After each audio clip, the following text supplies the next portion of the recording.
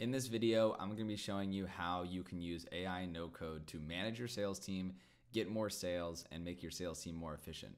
I'm drawing on my experience managing dozens of sales reps and building a multi million dollar sales team for my own business, and I hope that you find this useful. Let's jump into it.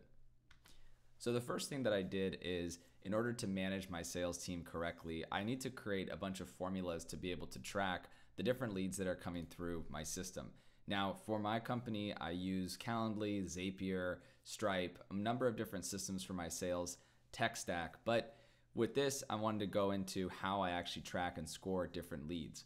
So, with this system, I have all of the leads going into this sheet, and this sheet is our Twiz marketing follow up sheet. This is a new version of it since we started tracking it in July. I've hidden the names of the different companies just for um, you know keeping it uh, confidential, but uh, in terms of just our business. This is the name of the different events, the people on our team, the status of the different meetings, whether it's an active prospect or not, uh, and also the date it was booked. Uh, and the lead score. So we score the different leads based on a number of different criteria. Typically, it's urgency and budget. Now, if you want to know how to score leads, you can use this kind of scoring system, which scores urgency from one to five and budget from one to five. And essentially, if they don't show up to a meeting, it's marked as a zero. If they get a five on urgency and a five on budget, then that lead is a 10. Most leads come out to be between a six to a seven, sometimes an eight, um, but rarely ever are they 10s. So that's how we're tracking them inside the sheet. And so I have my sales reps go and score them. And the reason I'm telling you this is because the formulas that I built with ChatGPT using AI and no code have made it really easy to count the amount of qualified leads that I have and attribute them to different kinds of people. So every time a meeting is booked, they come in here and they score this lead. Then it goes into this analysis tab and it tabulates different kinds of meetings and the amount of market qualified leads and sales qualified leads. The difference is that a market qualified lead is a lead that actually has a um, interest but may not be super qualified whereas a sales qualified lead is somebody that scores above a 5 out of a 10. So when you look here, you can see I can click here, right? And I can see the different kinds of meetings and it has part of the formula which is equal to or above a 5.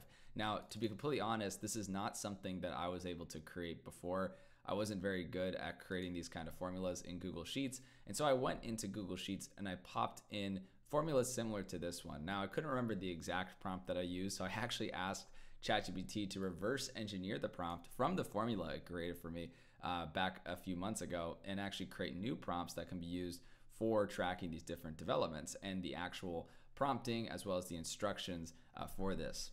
Now, I think it's safe to say that this is one very important element when it comes to using AI, being able to take speech, talking directly into ChatGPT and saying, I want a formula for my Google Sheet that does this exact thing. And then once that is created, then going and actually applying it to a Google Sheet. This has definitely expanded my mind when it comes to AI because I have actually got more capabilities with my Google Sheets than I was previously, which allows me to be more efficient and productive with my sales team and do things that I otherwise would not have been able to do. But again, this is broken down in title, prompt, and instructions. So you would take the entire prompt here and you would actually paste it into ChatGPT. And when you do that, it would produce this formula here, right? So the prompt gives context to ChatGPT and says, this is what I'm looking to build. I have these questions. I want to do this thing. And you can then sub out some of these variables. Let's say instead of the tab being called October, let's say it's called September for you.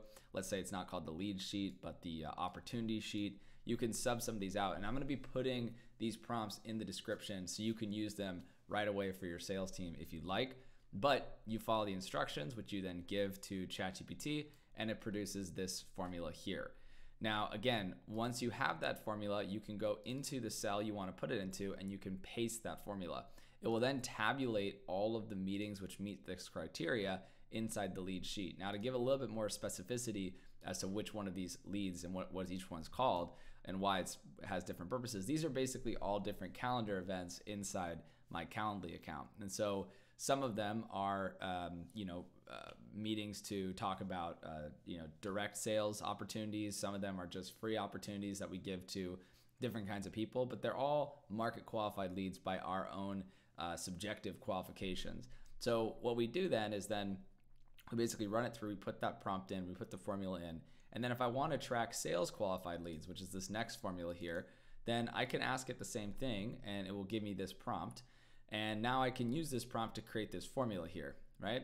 And basically the difference is that I want to be able to count leads that score equal to or above a five. So I'm just adding in this. It was quite amazing that ChatGPT was able to actually create a formula like this, which maybe to a computer isn't that amazing, but to me was pretty awesome to see. It was it was really cool to see how that was created so quickly. I was really blown away. Now, one other part of this is being able to, you know, look at for prospects and say, this is how much money you're going to want to spend with us. This is how much revenue you could make. Now, I always wanted to make a calculator like this, but the biggest problem was I just, again, didn't have the understanding of Google Sheets to be able to create formulas this complex to then put inside Google Sheets. I didn't want to learn how to do that, but I always wanted to do something that didn't require any coding to just create a simple calculator. And so what I did was I just told ChatGPT, hey, I need to create this calculator that categorizes the different numbers and based on the answers that are put into this calculator, I wanted to compute different outputs, right?